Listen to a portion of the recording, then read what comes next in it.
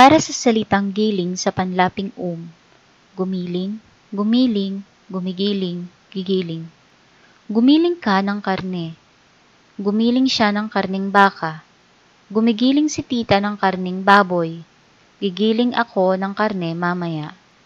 Para sa panlaping in, gilingin, giniling, ginigiling, gigilingin. Gilingin mo ang karning iyan. Giniling niya ang karne ng baka. Ginigiling ni tita ang karning baboy. Gigilingin ko ang karne mamaya.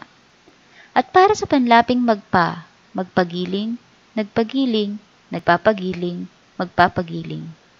Magpagiling ka ng isang kilong karne ng baboy. Nagpagiling na ako kahapon ng karne sa palengke. Nagpapagiling si Lina ng bigas para gawing kakanin.